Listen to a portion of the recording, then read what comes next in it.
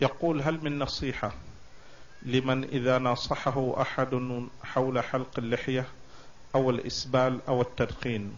قال الدين في القلب. نعم الدين في القلب لكن يظهر على على الجوارح. هو في القلب فقط. هذا قول المرجئة هم اللي يقولون الدين في القلب. أما أهل السنة والجماعة فيقولون الدين قول وعمل واعتقاد. الدين والإيمان قول وعمل واعتقاد. ما هو بس في القلب. آه، يظهر على الالتزام بطاعة الله ترك معصية الله. فإذا كان لا يلتزم بطاعة الله ولا يتجنب ما حرم الله هذا دليل على أنه إما أنه ليس في قلبه إيمان أو أن إيمانه ضعيف جدا. نعم.